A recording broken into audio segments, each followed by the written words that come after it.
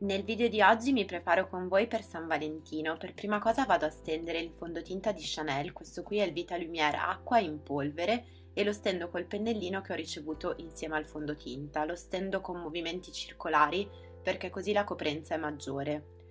Poi vado a prendere il mio correttore doppio di Bobbi Brown, questo qui ha la parte cremosa che utilizzo per prima con il dito e la picchietto su tutta la zona delle occhiaie.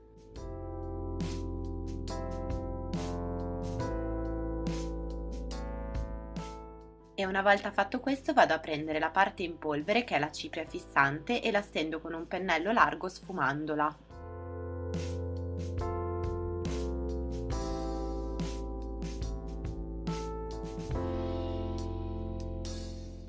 Poi vado a dare un po' di colore al viso utilizzando questa cipria barra terra di Chanel che ormai mi avete visto utilizzare in tutti i tutorial ed è quella Le Beige che vi ho mostrato credo anche nel video dei preferiti del 2014 perché la uso tantissimo.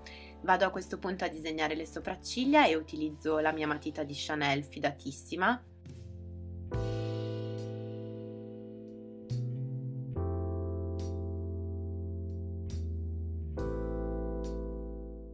Poi con il pettinino che c'è sul retro della matita vado a pettinare le sopracciglia per dargli un aspetto un pochettino più naturale e le fisso utilizzando il solito gel per sopracciglia che ormai conoscete a memoria, ma veramente non riesco a sostituirlo perché l'applicatore è perfetto per la mia forma.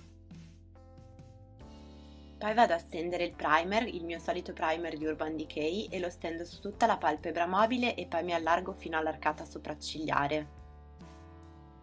Dalla Naked Basics 2 vado a prendere cover che è questo marrone opaco freddo e vado a stenderlo solo nella piega dell'occhio sfumando molto molto bene, infatti mi servo da subito di un pennello da sfumatura.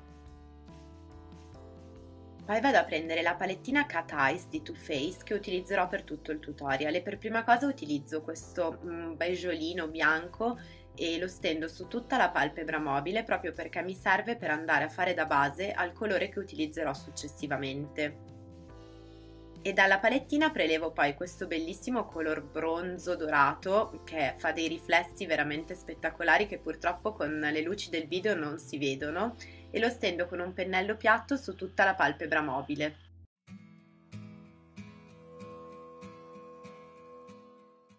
Poi con lo stesso pennellino vado a prelevare questo marrone, mm, anche in questo caso molto glitterato e molto shimmer, e vado a stenderlo nella parte esterna dell'occhio, picchiettandolo con movimenti rapidi. E in seguito lo sfumo con un pennello da sfumatura pulito. Con un altro pennello da sfumatura vado a prelevare questo colore che è un blu viola molto bello e lo stendo per intensificare ulteriormente la piega dell'occhio.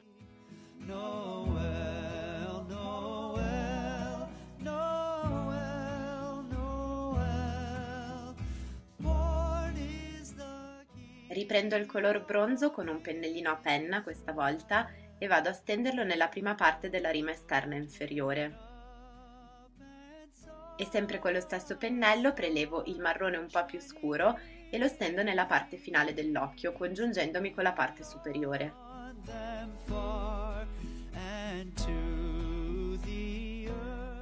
Per finire applico la matita nera, la mia solita di Kiko, in tutta la rima inferiore interna e nella parte superiore invece vado a utilizzare l'eyeliner, questo qui è il mio solito eyeliner di Givenchy che adoro perché fa venire una riga veramente perfetta e molto molto nera.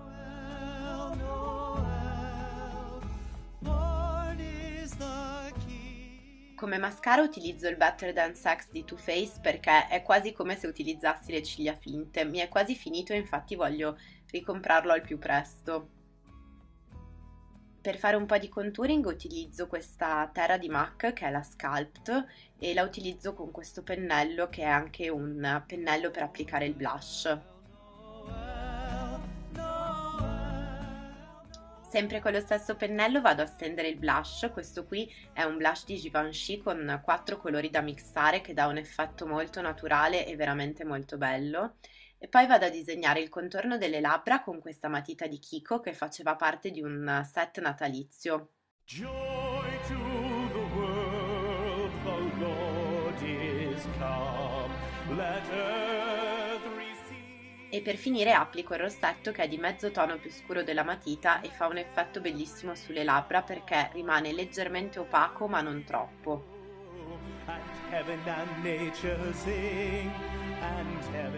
Questo è il risultato finale del make up che è molto semplice però è un po' più intenso del solito proprio in occasione della sera di San Valentino. Passiamo all'outfit, ho utilizzato queste décolleté nere di pittarello che adoro e ho scelto di indossare questo bellissimo vestito di Telly Welly.